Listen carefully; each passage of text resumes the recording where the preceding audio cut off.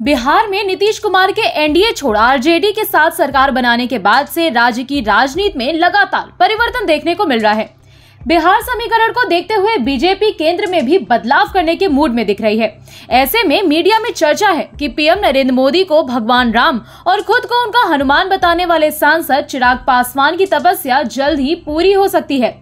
चिराग पासवान को केंद्रीय मंत्रिमंडल में शामिल करने को लेकर बातचीत फाइनल हो चुकी है। धार्मिक मान्यताओं के तहत भादो और पितृपक्ष में कोई शुभ काम नहीं होता। इसीलिए संभवतः वो अक्टूबर में शपथ ले सकते हैं। तो आइए जानते हैं इस रिपोर्ट में कैसे समीकरण साधने में लगी हुई है बीजेपी। चिराग पासवान मोदी सरकार में बन सकते हैं मंत्री।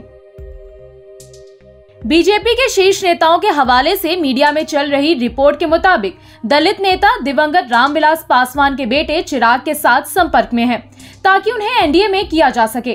फ़िलहाल केंद्र में चिराग के विपक्षी और चाचा पशुपति कुमार पारस मंत्री हैं। ज़ाहिर तौर पर स्थित का फ़ायदा उठाकर चिराग ने कड़ा रुख अख्तियार कर लिया है।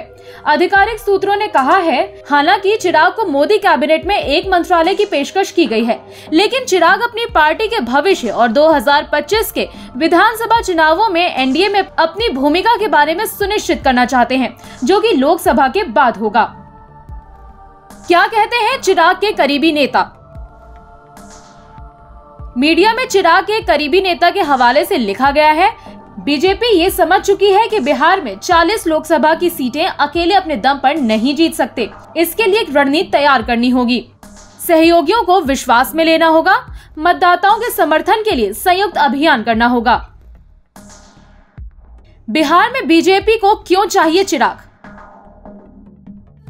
बता दें कि साल 2019 के लोकसभा चुनावों में चिराग की पार्टी को आठ दशमलव ज़ीरो प्रतिशत वोट मिले थे, जबकि 2014 में उसका वोट प्रतिशत साढ़े चार था। विधानसभा चुनाव में भी उसका वोट प्रतिशत काफ़ी प्रभावशाली रहा है।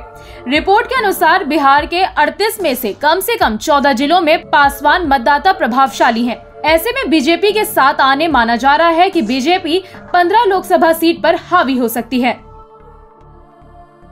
विधानसभा में जदयू का नुकसान कर चुके हैं। चिराग पासवान की पार्टी ने 2020 के बिहार विधानसभा चुनाव में 135 सीटों पर उम्मीदवार खड़े किए थे। लेकिन सिर्फ़ बेगूसराय की मटिहानी सीट से राजकुमार सिंह चुनाव जीतने में सफल रहे, जहाँ उन्होंने जदयू के बाहुबली उम्मीदवार बोगो सिंह को हराया। लोजपा ने दर्जन भर सीटों पर जदयू को नुकसान पहुँचाया था। चुनाव के बाद सियासी गलियारों में चर्चा थी कि जेडीयू की तिरालीस सीटों समेटने में सबसे अहम भूमिका चिराग की थी। तो ये थी चिराग पासवान से जुड़ी हमारी रिपोर्ट। आपको रिपोर्ट कैसी लगी कमेंट बॉक्स पर बताइए। साथ ही पूरे मामले पर आप क्या कुछ कहना चाहते हैं, कमेंट सेक्शन पर लिखिए। बाकी देश दुनिया से जुड़ी खबरों के लिए बने रहिए जनसत्ता के साथ। धन्यवाद।